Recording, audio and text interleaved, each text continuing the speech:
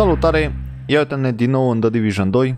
În acest video vă voi arăta cum să deblocați un alt uh, SHD Tech Kit care se află în această zonă în mijlocul uh, unor clădiri. Dar mai întâi voi va trebui să ajungeți în această zonă, în zona Parcului Columbus, după cum vedeți și pe hartă.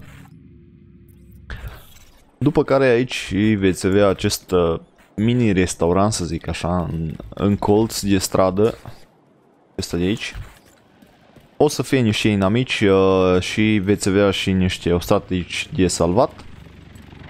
O intrați aici și în această zonă aici vor fi ostaticii pe care va trebui să-i salvați. După care aici va fi o ușă blocată. O să aveți un lacăt. O să doborâți acel lacăt. Ia uite, între timp să lutez și eu, deoarece nu le-am lutat. Acum, tot ce va trebui să faceți este să mergeți sus la etaj. Deschideți ușa. Și am ajuns aici pe clădire. O altă modalitate prin această zonă nu o să aveți doar prin interiorul acestei clădiri. Numai că lutez și eu aceste cutii. Ok. Deci ușa de care v-a zis o să aibă un lacăt uh, asemănător cu acesta.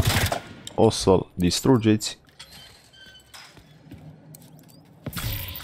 Ia uite, o grămadă de chestii interesante, o grămadă de loot pentru cei ce au nevoie de loot.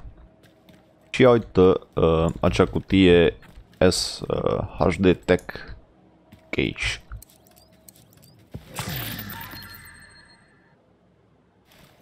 Bun. Iar cum uh, putem ieși liniștiți, ori ieșim pe ei, coborâm pe aici, prin această zonă, ori dacă nu luăm din nou pe scări pe unde am venit, ca toți oamenii normali, să ieșim în afara restaurantului. Aici mai aveți chestii de lootat dacă o să vă intereseze o grămadă de ghiozdane și o grămadă de loot. Și da, cam asta a fost și cu acest uh, SHD Tech Cache. Uh, eu o să închei acest video aici. Nu uitați, dacă v-a plăcut să dați un like, un share să vadă și prietenii voștri, un subscribe ca să fiți la curent cu videourile pe care le postez, că voi a fost Alin, iar noi ne reauzim în videoul următor. Pa, pa!